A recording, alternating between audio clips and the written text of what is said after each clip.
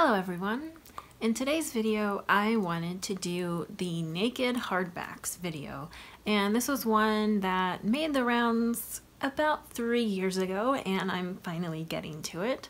So the idea is that you take off all of the dust jackets from your books and see what's underneath and if any are particularly pleasing. So as you might imagine, I definitely found a good selection. So here we go. These first few are all pretty similar and have cloth bound inside covers and engravings or embossings of the author's name or the title. This little volume of Emily Bronte's poems is one of my favorites on the outside and on the inside it's a lovely blue color with some gold embossing and there is the spine the next one is this edition of Falling Up by Shel Silverstein. On the inside, it has Shel Silverstein's signature on there in a nice shiny silver and there's the spine. And then I have a couple of Toni Morrison's books and in my last video I showed you Paradise and the inside front cover is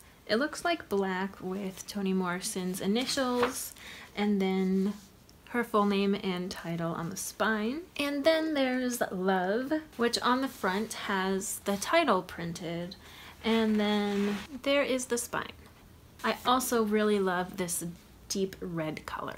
And then I have the books by Colin Meloy, illustrated by Carson Ellis. So this one was also in my most recent video, The Whizz Mob and the Grenadine Kid. And I haven't read this, and today was actually the first time I've looked on the front cover. There's the cool end papers.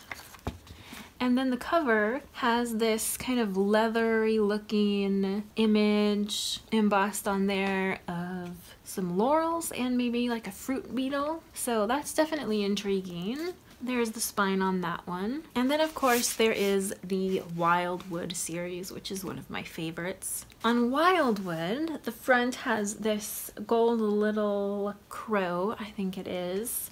And then the spine has these little cute plants surrounding the title. The second book, Under Wildwood, has this gold fox and the little plants have turned into what look like berries. And then finally Wildwood Imperium, which has a bear on the cover and Ivy Leaves by the title on the spine. Another cute one was also in my recent book haul. This is Forgotten Country by Catherine Chung. Just has a really sweetly colored inside cover and this cute little embossing of a little bird on a branch and this one was a library discard and unfortunately when I was taking off the book jacket which is attached by some very strong tape it tore off just a little bit of the paper there, so that was unfortunate, but it's still really cute. Then I have a couple of hardbacks where the cover is partially translucent or see-through. There's the sleeper and the spindle. And if you take off the cover, this is what the main cover looks like. And then underneath is that drawing of the princess.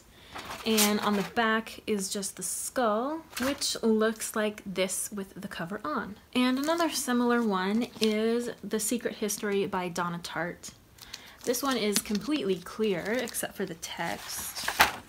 And then you just have the picture of the sculpture there.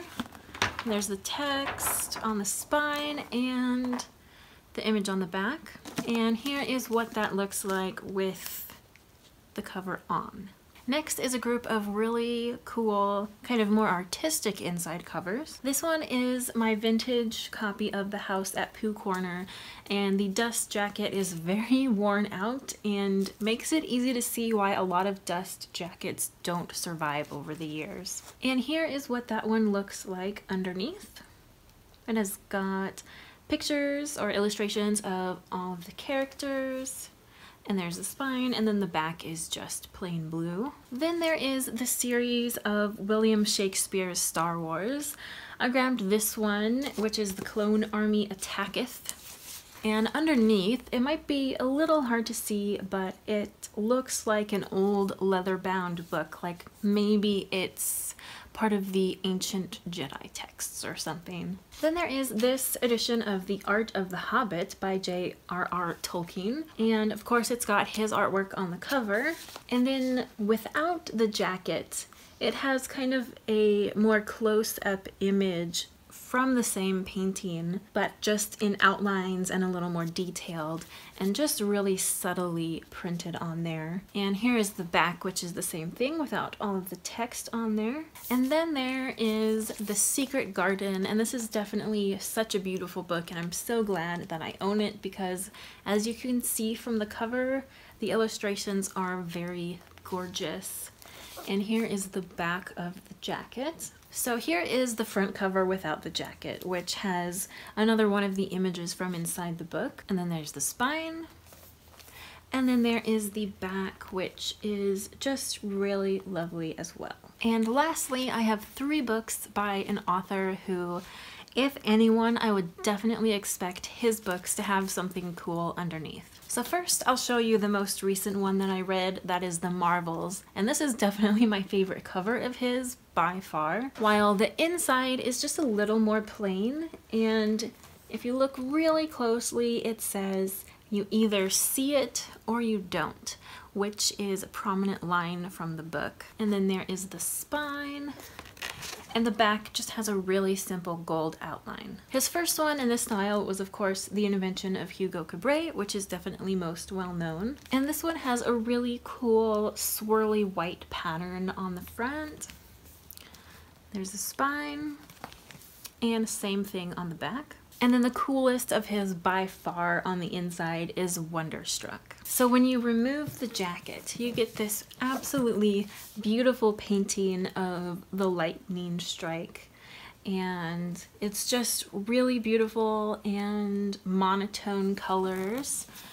There's the spine and there is the back and it's just so cool looking.